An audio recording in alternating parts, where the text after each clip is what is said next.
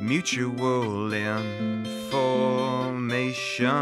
It's really cool, gonna check it out now. StatQuest. Hello, I'm Josh Starmer and welcome to StatQuest. Today we're going to talk about mutual information and it's going to be clearly explained. I don't want to spend a lot of time scaling up my stuff to work in the cloud. I would rather spend my time working on my stuff, cause that's the fun part. Lightning. This stat quest is also sponsored by the letters A, B, and C. A, always. B, B. C, curious. Always be curious. Imagine we had a dataset with a lot of variables, which are also called features. And, because we want to simplify the amount of time we spend collecting data, we wanted to remove some of them. Thus, we want to know how much each variable can tell us about the thing we want to predict. In this case, we want to predict if someone loves the movie Troll 2. And we want to know which of these variables, likes popcorn, height, etc., play the biggest role in making good predictions. In theory, we could use something like r squared to see if a specific variable is related to loves Troll 2. Except r squared only works with continuous data, and loves Troll 2 is yes or no. And so is likes popcorn. By the way, if you're not familiar with r squared, you probably should be, so check out the quest. So, when we have a mixture of continuous and discrete variables, how do we quantify their relationship to the thing we want to predict? Well, one way to quantify how each variable is related to Love's Troll 2 is to use mutual, mutual information. information. Like r squared, mutual information is a numeric value that gives us a sense of how closely related two variables are. Bam! The equation for calculating mutual information looks kind of nasty. But don't worry, we'll go through it one step at a time.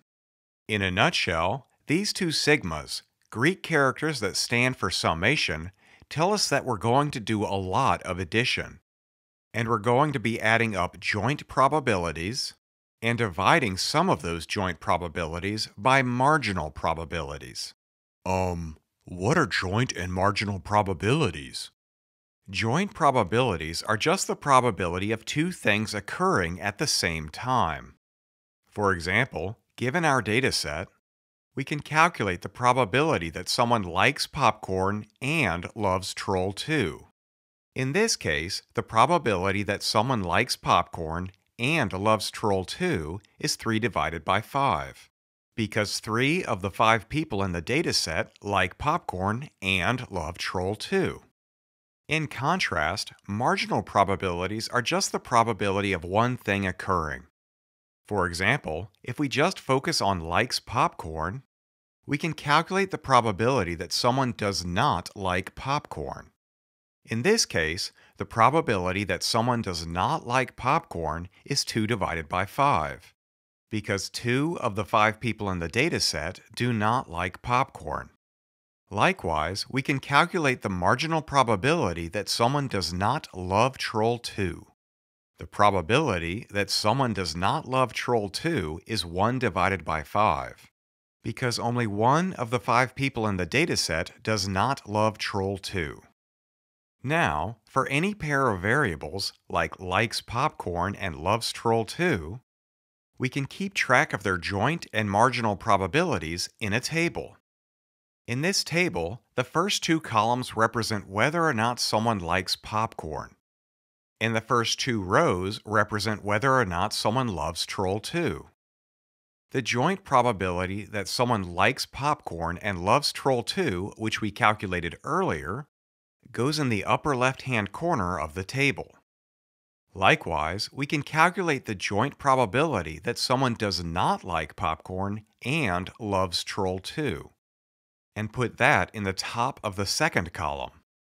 Now, if we want to know the marginal probability that someone loves Troll 2, we can either calculate it like we did earlier by dividing the number of people that love Troll 2 by the total number of people, Or we can simply add the joint probability that someone likes popcorn and loves Troll 2 to the joint probability that someone does not like popcorn and loves Troll 2.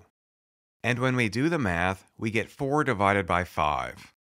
So, either way, we get the same marginal probability, 4 divided by 5. Likewise, we can solve for the remaining joint probabilities and plug them into the table. And we can solve for the marginal probability that someone does not love Troll 2 either directly from the data, or we can add up the two joint probabilities in the second row in the table. Either way, we get the same result. Then we can calculate the marginal probability that someone likes popcorn, either directly or by adding the values in the column together.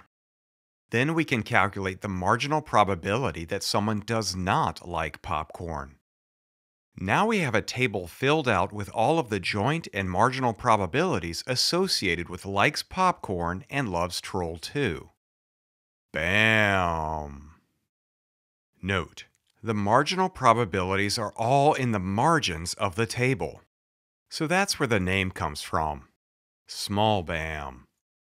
Anyway, now that we have this table of joint and marginal probabilities, for likes popcorn and loves troll 2, we can calculate their mutual information by plugging the joint and marginal probabilities into this equation.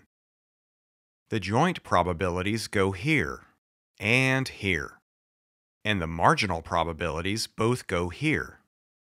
Note, the two summations ensure that we include all possible combinations of the variables, likes popcorn, yes and no, with loves troll 2, yes and no. For example, we start by plugging in the joint and marginal probabilities for where both popcorn and loves troll 2 equal yes. Then we add a term where popcorn is yes and loves troll 2 is no. Then we add a term where popcorn is no and loves troll 2 is yes. And, lastly, a term where popcorn is no and loves troll 2 is no. Now that we have expanded this double summation by adding terms for all possible combinations of popcorn and loves troll 2, we plug in the joint and marginal probabilities that we calculated earlier. For example, the joint probability that someone likes popcorn and Troll 2 is 3 divided by 5, so we plug that in. And then we plug in the marginal probability that someone likes popcorn, 3 divided by 5.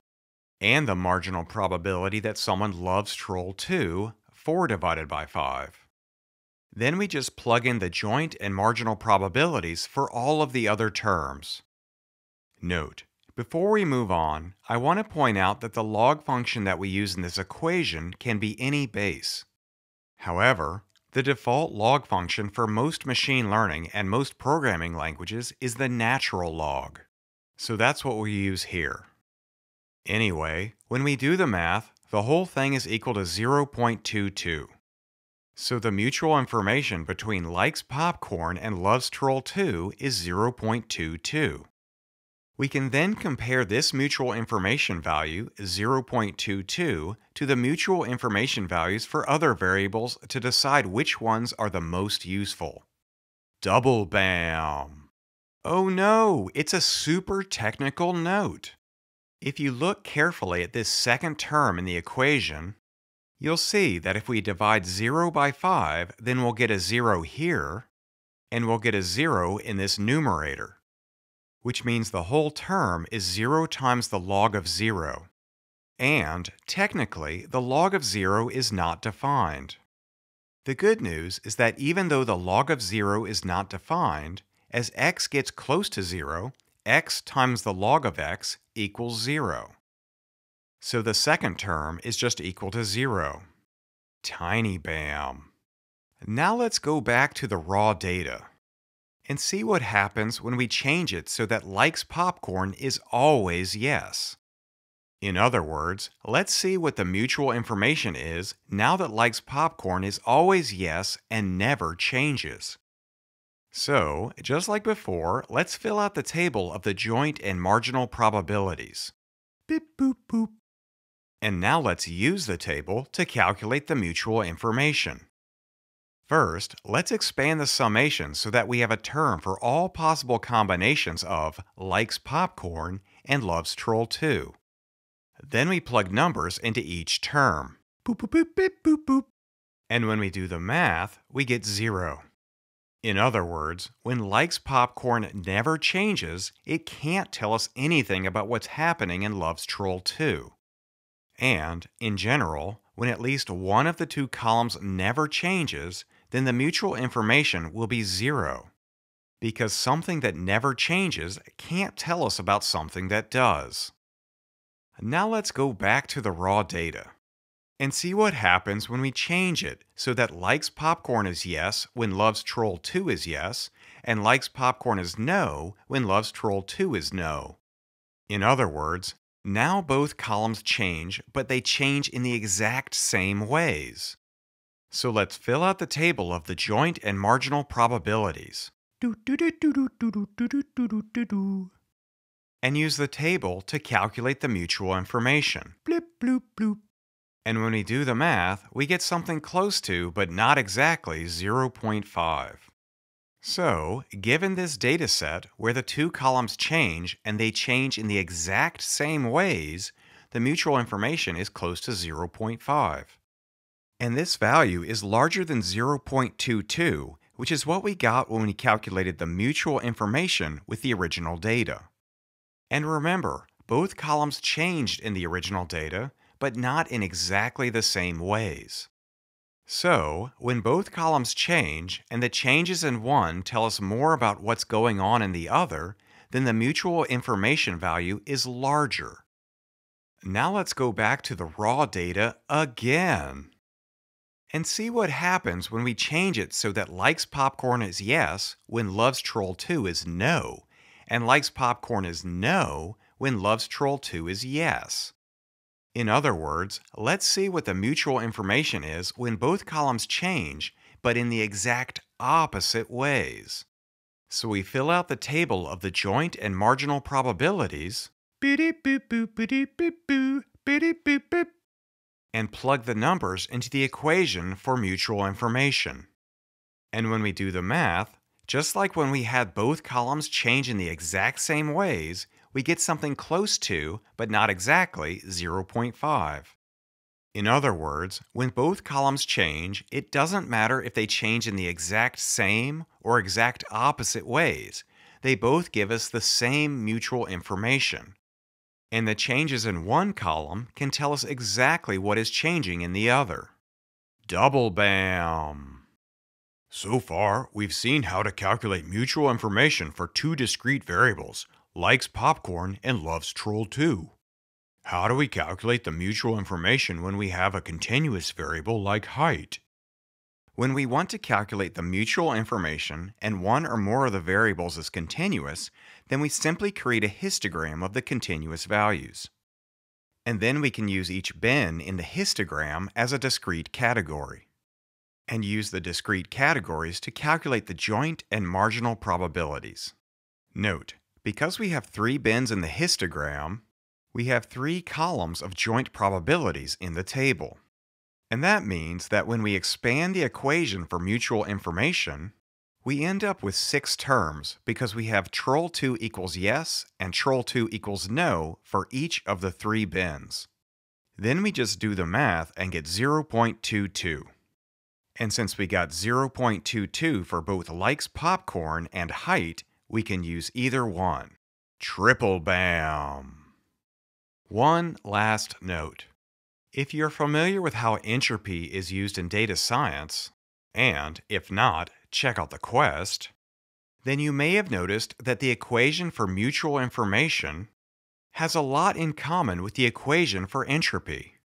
They are both sums of probabilities times logs. These equations are similar because mutual information can be derived from entropy. And, in a sense, mutual information tells us how, on average, the surprise or change we see in one variable is related to the surprise or change in another. For example, Do you remember when we calculated the mutual information and likes popcorn never changed? Well, when we have something that never changes, then the surprise is always zero.